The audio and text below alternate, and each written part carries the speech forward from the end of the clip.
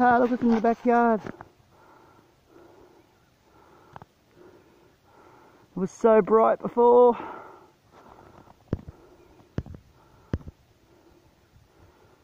Didn't have the camera on me.